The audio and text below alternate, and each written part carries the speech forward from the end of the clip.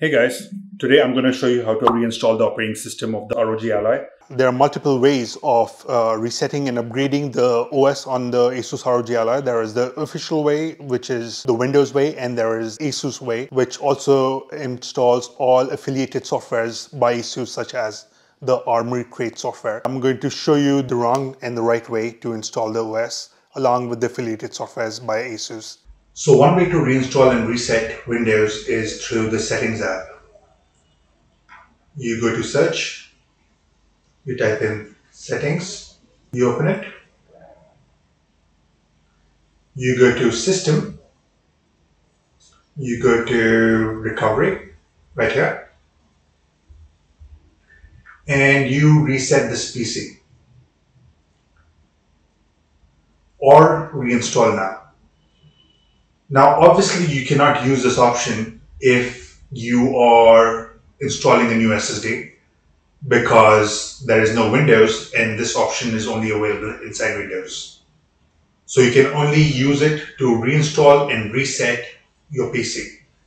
However, even if you reinstall and reset this PC using this option, it will only reinstall Windows to its factory settings it will not install all the affiliated software like the Asus Armoury Crate software and all the affiliated drivers like the Asus graphics drivers for the X1 Extreme chipset. So it is much better to go into the BIOS, which seems a little intimidating, but it really isn't, and restore it from there because Asus does all the magic by itself without you having to fiddle with it. To go into the BIOS, you have to press volume down uh, and the power button. Just press the power button until you feel the vibration motor and you will boot into the BIOS. Sometimes it fails, just try it again. It'll work. Once you enter the BIOS, you can use it with the touchscreen or with the handheld control buttons as well. You go into advanced settings, go into cloud recovery, and ASUS will do all the magic. It'll download a fresh version of Windows, it'll reinstall it, It'll reinstall all the drivers. It will reinstall the ASUS software, which is Armoury Crate.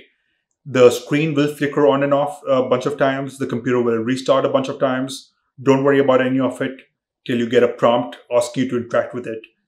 Just leave it connected to power and the internet, and uh, ASUS will do all the magic by itself. Thank you for watching this video. I hope you found this hack useful and informative. If you want to purchase the ASUS ROG Ally Storage Expansion SSD, I have that in a link below in my marketplace. I also purchase a whole bunch of electronics from time to time to review them, to uh, talk about the features, to post videos about them.